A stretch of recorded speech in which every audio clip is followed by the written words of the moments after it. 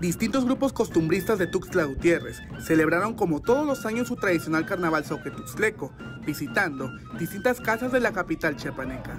El día de hoy visitamos el lado sur de Tuxtla, donde eh, nos recibieron principalmente las casas tradicionales que saben lo que nosotros hacemos, las prácticas y rituales de los soques de Tuxtla, como son los bailes visitamos las casas este, del lado sur donde están las imágenes de San Rafael, está la imagen de San Juan Bautista, la imagen de la Virgen de Asunción, que son imágenes antiguas acá de Tuxtla. El Napapoquetse o danza de carnaval tiene lugar los días previos al miércoles de ceniza, en donde las y los costumbristas de Tuxtla Gutiérrez recorren las calles de la ciudad capital y demuestran que el costumbre está vivo.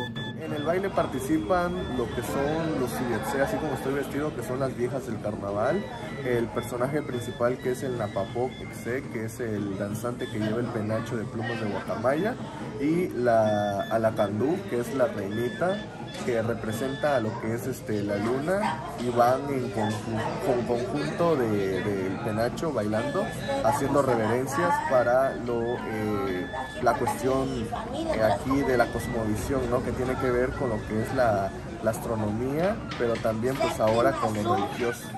Estos danzantes visten indumentaria tradicional que es muy característica de la región y se usa en este tipo de celebraciones de los ocres de Tuxtla, quienes danzaron al ritmo de tambor y carrizo. Bailan eh, personas que están comprometidas a lo que es el baile. Vienen músicos tradicionales también que ya tiene, que son originales acá de Tuxtla, como lo es este el maestro Jesús Velázquez, que es el primer maestro músico de acá del grupo y este, dos penachos vinieron el día de hoy que son los danzantes principales, al igual vinieron dos reinitas y venimos alrededor de 12 a 14 a 15 viejas de Silencio.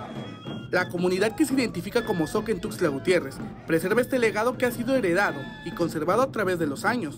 Hacen extensa la invitación para que la ciudadanía interesada participe. Importante seguir preservando y conservando estas tradiciones, estas prácticas rituales de los Ocres de Tuxtla. Aún estamos aquí vigentes, o sea, no estamos extintos, seguimos aquí vivos y esperamos que las personas se quieran integrar para seguir preservando la cultura. Para Chiapas, Eric Chandomí.